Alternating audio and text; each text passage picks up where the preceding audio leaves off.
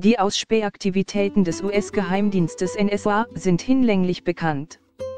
Von der Chip-Sicherheitslücke will man dort allerdings nichts gewusst haben.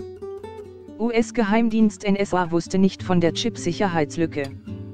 Quelle, Ralf Hirschberger, Deutsche Presseagentur, Zentralbild, Deutsche Presseagentur Der US-Geheimdienst, NSA, hat die jüngst bekannt gewordene massive Sicherheitslücke in Computerchips nach amerikanischen Regierungsangaben nicht gekannt.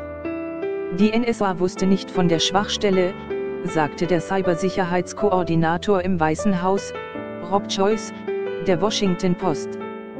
Für einen Geheimdienst wäre die Angriffsmethode über die Chips praktisch, da sie in den üblichen Logdateien keine Spuren hinterlässt. Die NSA ist für ausufernde Ausspähaktivität rund um die Welt berüchtigt.